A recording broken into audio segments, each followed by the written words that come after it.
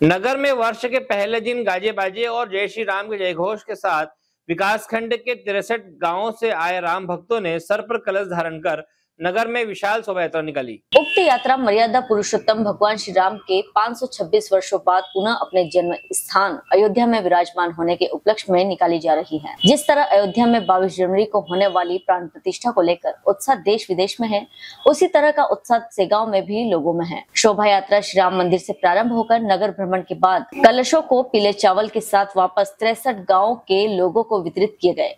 सेगांव से संजय जायसवाल की रिपोर्ट।